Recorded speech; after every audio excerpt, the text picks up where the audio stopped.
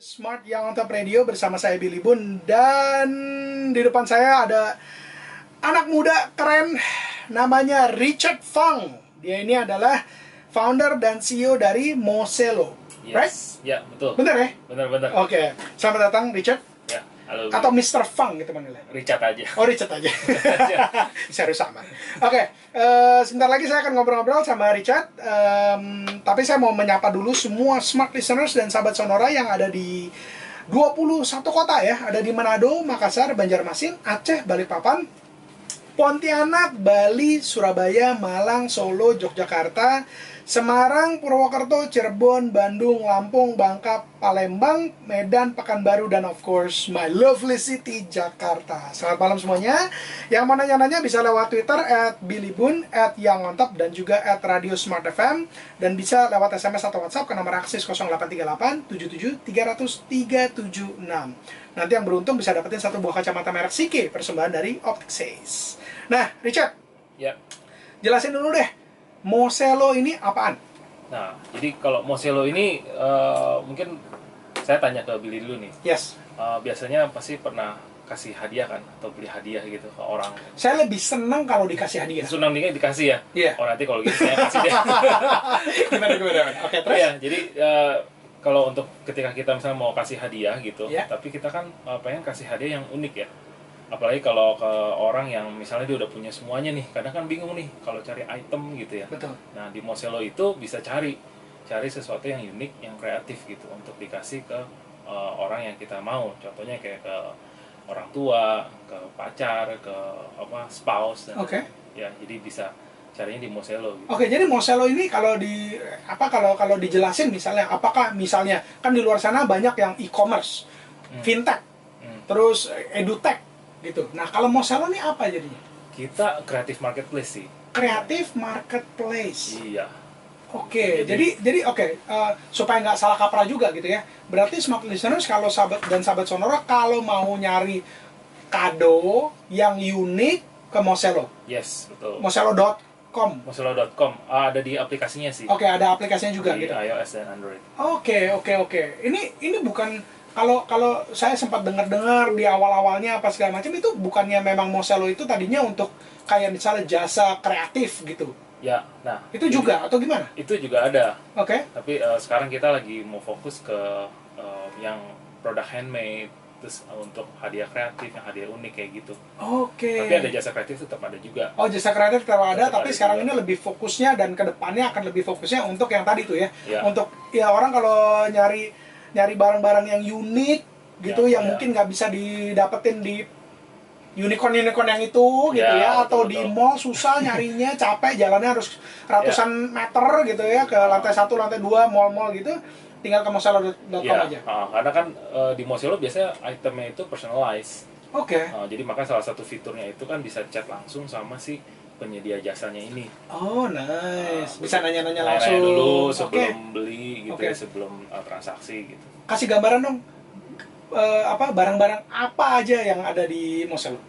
Pasti yang- kan luas nih, Iya. tapi yang unik-unik yang keinget sama sama Richard sendiri apa? Eh, kalau yang aku inget sih, jadi kalau yang best seller itu biasanya bunga. Oke, Tapi bunga ini kan banyak ya. tuh. Kalau ngomong flower, apalagi ada satu cerita sih, eh, ada temen yang dia marahan nih sama pacarnya. Oke. Terus udah Ini bukan cerita pribadi kan? Enggak, Ini ini, ini jangan-jangan cerita pribadi, cuman cuman bilangnya ada temen. Gitu. Terus gitu. Terus, jadi, terus? eh, jadi dia eh, lagi marahan gitulah gitu. Terus habis itu dia cari di Moselo cari bunga nih, karena kan kebetulan eh, pacarnya ini tipe love language-nya ini emang gift gitu. Oke. Nah, udah gitu dia cari cari bunga. Nah, karena bisa chatting dulu, chatting terus kebetulan itu kan dia pengennya malam itu. Oke. Jadi chattingnya itu siang. Ya. Terus eh, ngobrol-ngobrol, dia tanya bunganya ada nggak? Dia cuma mau beli satu doang. Hmm. Terus akhirnya eh, sama si penyedia jasanya ini dirangkai satu, difoto dulu, kirim lewat chat. Oke, udah oke, dibikin ordernya, then dikirim pakai Gojek.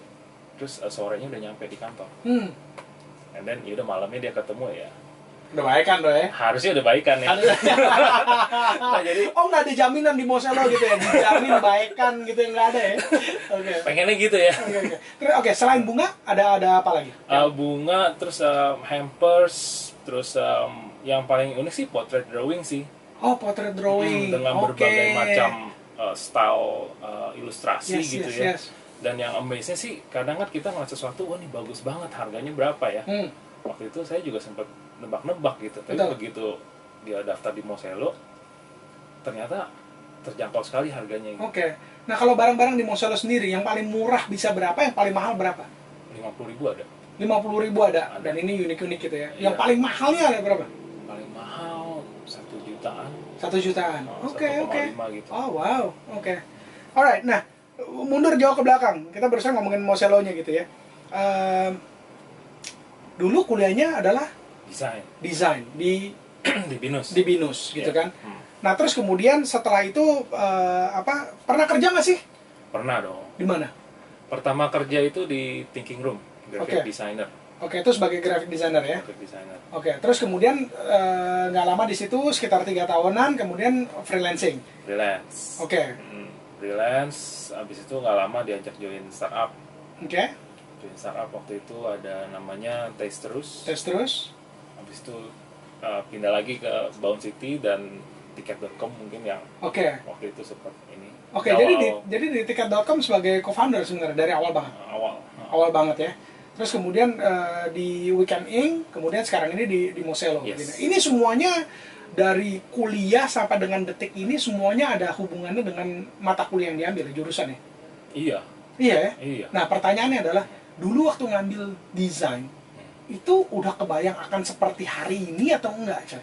Karena banyak banget anak muda yang merasa salah ngambil jurusan, kemudian ya udah atau permintaan or- permintaan orang tua disuruh orang tua, kemudian begitu dia udah dia udah mulai apa dia udah mulai eh, berkarir gitu ya, kemudian dia nyalain orang tua gitu, ini kan bukan kerjaan gue, ini gue nggak suka di sini gitu. Nah sementara eh, Richard dari awal ngambilnya desain sampai detik ini semuanya ilmunya kepake, berarti kan pas banget kan ya? ya Dulu gimana ya sih. gitu?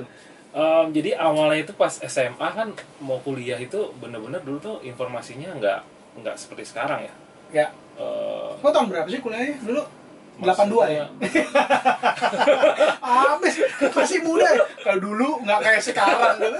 Ya, Ya, tapi- masih muda, man. bedanya jauh banget Oh iya, bedanya betul, jauh betul, banget betul, betul. Em, ya waktu itu sih informasinya nggak seperti sekarang jadi Ya. pas mau kuliah itu kebetulan waktu SMA kan ya aku tuh biasa-biasa aja lah gitu Hmm. Eh, matematika enggak Hmm. gambar juga dulu dibilang bagus juga enggak tapi eh, teman-teman bilang oh oke lah gitu Oke. tapi kan waktu itu gambar mau jadi apa Betul, betul, nggak nggak jelas masa mau jadi yang di seniman yang kayak gitu gitu Iya. kan masa depannya gimana nanti kan Oke. terus eh, akhirnya ada teman bilang coba DKV aja cat Hmm. Apa tuh Oh, ini dari temen justru yang Dari temen. menyarankan pertama kali ya? iya Oke. dulu desain grafis kan bukan Iya, iya. DKV gitu jadi eh, itu ngapain ya pokoknya eh, nanti kamu tuh gambar-gambar aja deh gitu Sounds fun. iya kayaknya Kerjanya gambar doang. asik Enak kan banget ya. Iya, iya betul, asik betul. terus akhirnya ya udah cobain cobain Orang, eh, sorry, orang tua mendukung. eh, lucunya iya Oh lucunya ya. Iya. Ada kedua orang tua kalau boleh tahu, kalau boleh tahu mereka apa?